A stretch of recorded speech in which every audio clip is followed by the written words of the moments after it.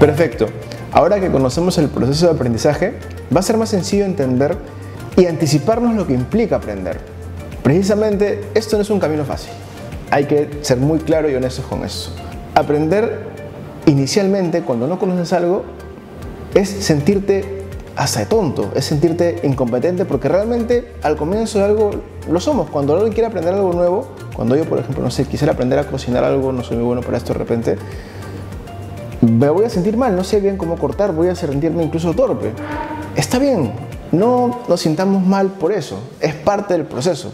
Le pasa a todos, a cualquier persona que desee aprender algo nuevo, siempre va a pasar por esa fase.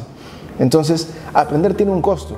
Y es el costo de que nosotros podamos superar esa parte, esa emoción negativa de decir, pucha, que, ala, soy, soy malo con esto. Tranquilo, hay que superar esa parte. Es, es importante reconocerlo para comenzar, ser atentos o estar atentos a que esto suceda.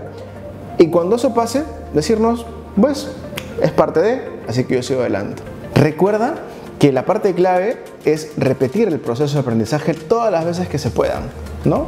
Cada ciclo es una mejora, mejora un porcentaje, mejora un 1%, mejora un 2%, mejora un 0.5%, pero todo es progreso y ese es el enfoque que queremos darle al tema. Progreso es que tu medida o que tu capacidad de hacer algo sea cada vez mayor.